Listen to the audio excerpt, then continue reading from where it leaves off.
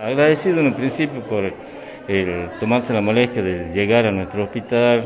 eh, recorrer el hospital, interiorizarse las necesidades que tenemos y este, tomar conocimiento de lo que es la población, una población grande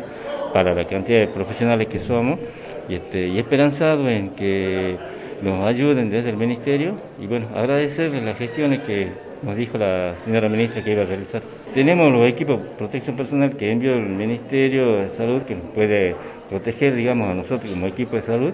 y este, bueno, cuando si sucede en algún momento, ojalá que no tengamos este, muchos casos aquí, este, esperar la ayuda del Ministerio que hasta ahora nos está asistiendo. He tenido el agrado de recorrer el hospital en compañía del staff y del equipo médico, del gerente, de la doctora de epidemiología y el resto del equipo. Este, la verdad, este, nos vamos con una impresión muy grata, un hospital que está preparado con los protocolos para para COVID, este, tanto en lo que es este, eh,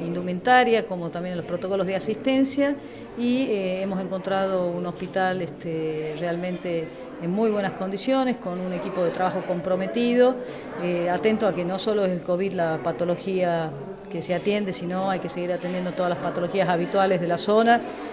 sobre todo las patologías endémicas que este, en esta época afectan mucho al lugar, como es el dengue la gente ya conoce. Así que eh, desde el Ministerio y desde el Gobierno a cargo del doctor Gustavo Sáenz, que tengan la certeza que vamos a trabajar en equipo y vamos a apuntalar a todos los requerimientos que se hayan planteado respecto del equipo. ¿no? Eh, está haciendo un relevamiento eh, Obras Públicas de la Nación a los fines de hacer la construcción de un módulo sanitario de sanidad de frontera que va a tener este, unas características particulares. Así que estuvimos mirando un poco el terreno donde eventualmente podría edificarse.